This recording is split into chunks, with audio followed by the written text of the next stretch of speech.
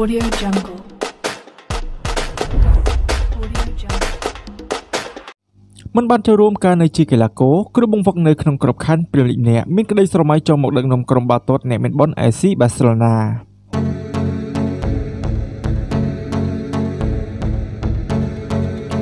អ្នកចាត់ការក្រុមបច្ចុប្បន្ននៃក្លឹបបាល់ទាត់តោក្យូ Chelsea លោក Frank Lampard នៅតែមានក្តីស្រមៃចង់មកដឹកនាំក្រុមបាល់ទាត់អ្នកមានបុណ្យ AC បាសេឡូណា បើទោះបីជាមិនបានផ្លាស់មកកាន់ទឹកដី Camp Nou ប៉ុន្តែលោក Frank Lampard រំពឹងថានឹងបានទៅដឹកនាំនៅទីនោះនាពេលអនាគត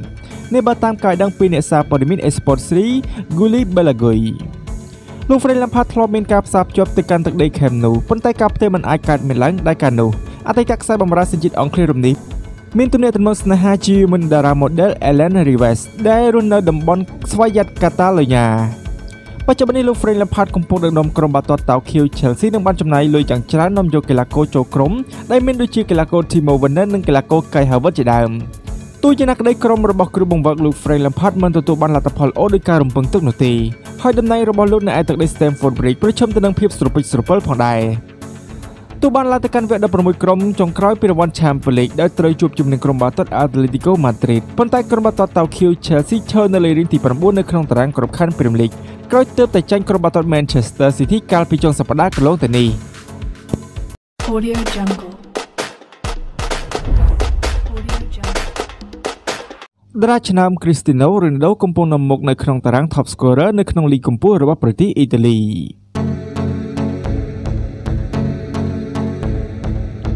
កីឡាករខ្សែប្រយុទ្ធ Cristiano Ronaldo ត្រូវបានក្របល់ពីគ្រាប់សម្រាប់ការប្រកួតដំបូងនៅក្នុងឆ្នាំ2021ដូច្នេះមានន័យថា កីឡាករខ្សែប្រយុទ្ធសញ្ជាតិប៉ុកទីកាអាចរកបានគ្រាប់បាល់រៀងរាល់ឆ្នាំចាប់ពីឆ្នាំ2002ដែលគេរកបានគ្រាប់បាល់បញ្ចូលទីឲ្យក្រុមបាល់ទាត់ Sporting Lisbon ទៅនឹងក្រុមបាល់ទាត់ Moreirense នៅក្នុងវ័យ17ឆ្នាំ បច្ចុប្បន្ននេះ Cristiano Ronaldo រកបានគ្រាប់បាល់សរុបចំនួន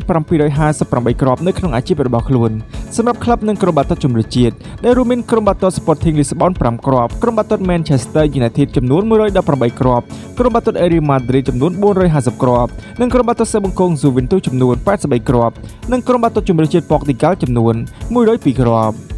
បច្ចុប្បន្ននេះកីឡាករខ្សែប្រយុទ្ធវ័យ35ឆ្នាំបាននាំមកកីឡាករខ្សែប្រយុទ្ធ Romelu Lukaku, Ciro Immobile និងកីឡាករ Zlatan Ibrahimovic ក្នុងការប្រជែងពីរង្វាន់សប្បាយជើងមាសនៅក្នុងក្របខ័ណ្ឌ Serie A ក្រោយរកបានគ្រាប់បាល់14គ្រាប់ឲ្យក្រុមបាល់ទាត់សេបង្គង Juventus នារដូវកាលនេះ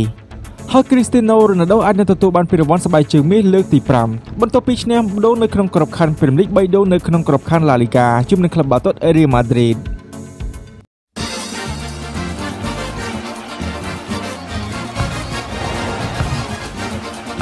Emoção. ជនថាគ្រូបង្វឹកលូម៉ារីហ្សូអូពូជីទីណូប្រាជំរឿ11នាក់ដំបូងបែបណាប្រសិនបើយកបានកីឡាករលីអូណែលមេស៊ីនិងកីឡាករសេជីអូរ៉ាម៉ូសមកចូលរួមនៅក្នុងក្រុម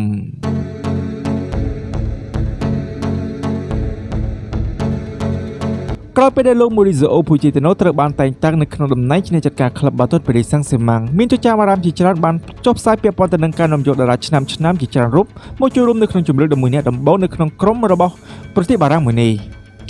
កីឡាករសេជីអូរ៉ាម៉ូនិងកីឡាករលីអូណែលមេស៊ីគឺជាកីឡាករគោលដៅដ៏ធំបំផុតរបស់ក្រុមបាល់ទាត់ប៉ារីសសាំងសេម៉ាំងខណៈដែលកងត្រារបស់តារាឆ្នាំទាំងពីររូបនេះនឹងត្រូវអស់សុពលភាពត្រឹមចុងខែមិថុនាខាងមុខនេះហើយ ខណៈដែលប្រធានក្រុមបាល់ទាត់ Real Madrid និង Barcelona ទាំងពីររូបនេះពុំទាន់មានការព្រមព្រៀងក្នុងការបន្តកងត្រាថ្មីនៅឡើយបើជឿទៅតាមការចុះផ្សាយរបស់សារព័ត៌មាន The Sun លោក Mauricio Pochettino ក៏បានបង្ហាញចំណាប់អារម្មណ៍ចង់បានអតីតកូនក្រុមនៃក្រុមបាល់ទាត់ Mon Kimi Tottenham Hotspur ពីររូបនោះគឺកីឡាករ Dele Alli និងកីឡាករ Hugo Lloris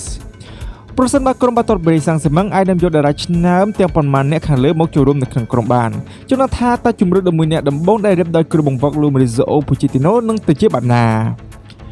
សម្រាប់ជំរឿ11អ្នករបស់ក្រុមបាល់ទាត់បេរីសាំងសេម៉ាំងដែលអាចនឹងប្រើប្រាស់គឺមានដូចជាកីឡាករ Hugo Lloris កីឡាករ Colin Dagba កីឡាករ Marquinhos កីឡាករ Sergio Ramos កីឡាករ Mathis Becker កីឡាករ Marco Verratti កីឡាករ Edrissa Gueye ឬកីឡាករ Orlando Paredes កីឡាករ Dele Alli ឬកីឡាករ Angel Di Maria កីឡាករ Lionel Messi កីឡាករ Neymar និងកីឡាករ Kylian Mbappe ក្រុមបាល់ទាត់ប៉ារីសសាំងសេម៉ាំងក៏បានត្រៀមនៅក្នុងការដាក់លោកកីឡាកររបស់ពួកគេព្រោះត្រូវការចំណូលប្រមាណ60លានអឺរ៉ូដើម្បីរក្សាតុល្យភាពការដដោសតាមច្បាប់របស់ UEFA ដើម្បីនាំចូលកីឡាករបន្ថែមមកពង្រឹងក្រុមនារដូវក្តៅបន្ទាប់នេះ។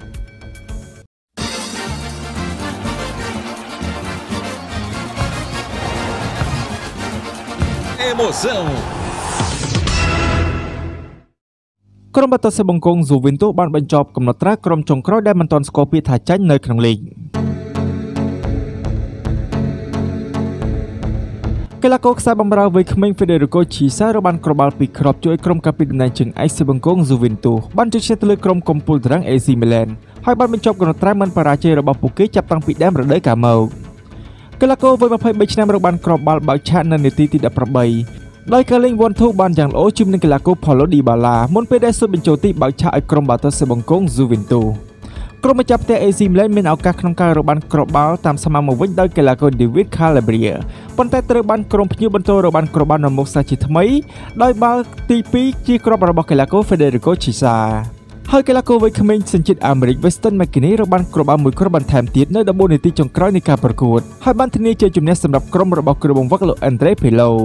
ទោះបរាជ័យការប្រកួតមួយនេះប៉ុន្តែក្រុមបាល់ទាត់ AC Milan នៅបន្តឈរនៅកំពូលតារាងក្របខ័ណ្ឌ Serie A បន្ទាប់ពីក្រុមលេខរៀងទី2 Inter Milan បានចាញ់ក្រុមបាល់ទាត់ Sampdoria ដោយលទ្ធផល2ទៅ1ខណៈដែលក្រុមបាល់ទាត់សេបង្គង Juventus បានឡើងមកកាន់លេខរៀងទី4ដែលមានគម្លាត7ពិន្ទុពីក្រុមកំពូលតារាង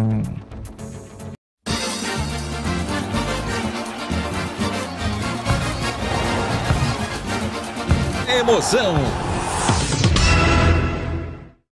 ផេឌរីឡើងជើងមួយប្រៅហាងឆេងថ្លៃខ្លួនឡើងកលស្មើជាមួយនឹងកីឡាករ Eden Hazard និងកីឡាករ Philip Coutinho បាទ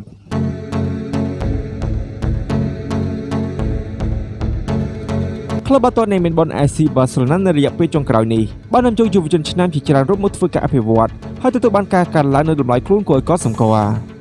ក្រៅពីកីឡាករ Ansu Fati ដែលក្លឹបរំពឹងនឹងចំណេញលុយលើគូនៅពេលចុងក្រោយនេះកីឡាករ Pedri ដែលជាចំណាយដ៏សំខាន់ក៏រំពឹងថានឹងមានលាភធំសម្រាប់ក្លឹបនាថ្ងៃខាងមុខផងដែរ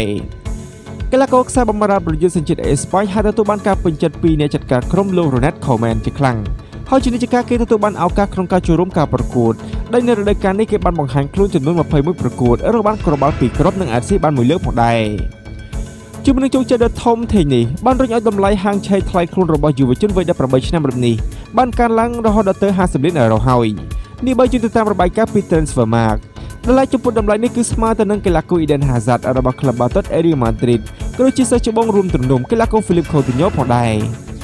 គួររំលឹកផងដែរថាអតីតកីឡាកររបស់ក្រុមបាល់ទាត់ Las Palmas រូបនេះត្រូវបានក្លឹបបាល់ទាត់ Nemen Bon AC Barcelona ទិញយកមកអស់តម្លៃប្រមាណ5លានអឺរ៉ូទេ អញ្ចឹងមានន័យថានៅពេលនេះព្រមលក់គឺចំណេញទ្វេមួយជា10ឯណោះ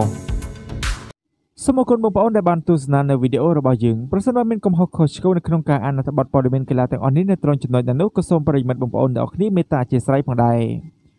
ជាចុងក្រោយសូមបងប្អូនកុំភ្លេចជួយចុចនៅលើពាក្យ Subscribe ក៏ដូចជាដៃរកណ្ដឹងដើម្បីទទួលបាននូវវីដេអូអត្ថបទព័ត៌មានកីឡាថ្មីៗបន្ថែមទៀតជារៀងរាល់ថ្ងៃអំពី Channel YouTube របស់យើងខ្ញុំ